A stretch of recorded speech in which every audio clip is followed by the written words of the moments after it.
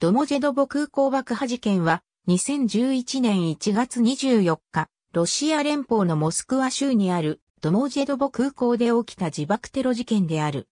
これによって37人が死亡、173人が負傷した。1月24日モスクワ時間午後4時32分、ドモジェドボ空港の国際線着陸ターミナルで、ベルトに TNT 換算で 5kg の爆発物を身につけた男による自爆テロが発生。37人が死亡。ロシア人以外にタジキスタン、ナイジェリア、ドイツ、スロバキア、モルドバ、フランス、イタリア国籍の人々など173人が負傷した。この爆発で空港ターミナルビルには黒煙が立ち込めた。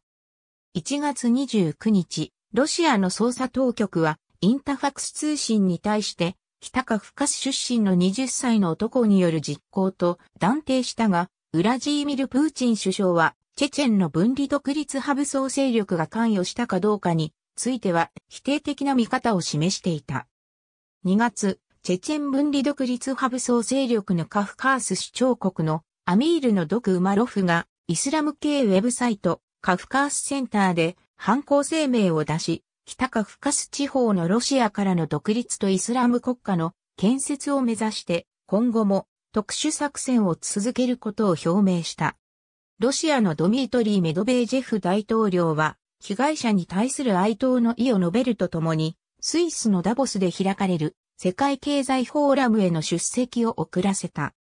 またダボスでは国際社会のテロとの戦いへの団結を呼びかけた。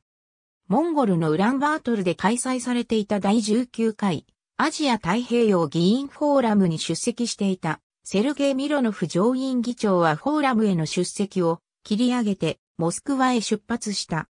ロシア NATO 理事会はテロリズムとの戦いで肩を並べて立ってゆくとの声明文を表した。アメリカ合衆国のバラク・オバマ大統領は、ロシアの人々に対する非道なテロを強く非難すると述べた。日本の国旗、日本の菅直人首相、韓国の李明弘大統領、中国の胡錦涛国家主席は、犠牲者への追悼の意を述べるとともに、いかなる理由があってもテロは許されないとコメントした。また反気分国連事務総長もテロを非難するとともに、犠牲者に対する慰問の意を表明した。イングーシ共和国のユヌスベク・エフクロフ首長は、カフカス勢力が関与しているという見方を示した。同空港の到着ロビーには出迎え客に対する警備員による荷物検査が行われておらず、金属探知機を通過する必要のない出入り口があるなどの構造的な欠陥があった。ロシア内務省内における公共交通機関、公共の場の警備に関わる組織の責任者、職員の活動を見直しする必要性について、総裁委員会の報道官が述べた。また、ロシア会員はテロ対策修正法案の審議を行った。モスクワ市長のセルゲイ・ソビャーニン、モスクワ州知事のボリス・グロモフは、事件の翌々日、1月26日を含もの日と決定した。7カ国の外国人を含む35人が亡くなった。この中には、オデッサからやってきた、ウクライナの脚本家のアンナ・ヤブロンスカヤも含まれていた。1月27日、犠牲者に対する追悼式典が、モスクワ市内で行われた。